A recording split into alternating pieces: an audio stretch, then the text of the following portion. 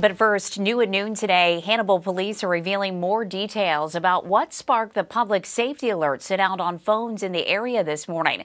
Police say they were investigating a report of a stolen vehicle just after 6 o'clock this morning at the Casey's on McMasters Avenue. They say that's when Stephen Martin backed into a patrol car, hit another vehicle, and then took off.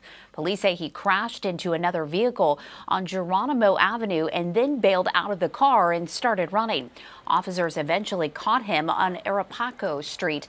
No bystanders or officers were hurt.